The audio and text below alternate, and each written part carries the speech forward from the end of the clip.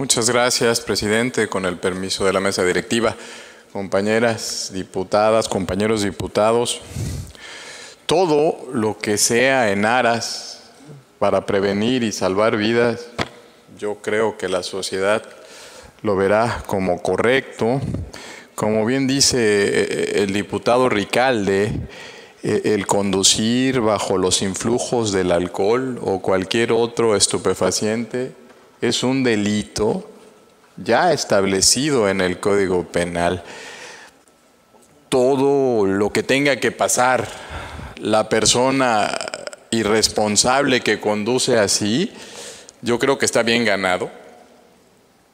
No puedes estar arriesgando tu vida y la de los demás.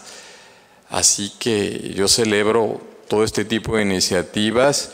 Eh, la pasada con, el que, presentó, que presentaron mis compañeros de la fracción de Morena, yo creo que viene a complementar la, que presentó un servidor junto con otros compañeros, todo lo que está haciendo esta decimoséptima legislatura eh, con el afán de prevenir vidas y, hacer que la gente inhiba estas conductas, endureciendo las penas de los códigos, yo creo que está correcto.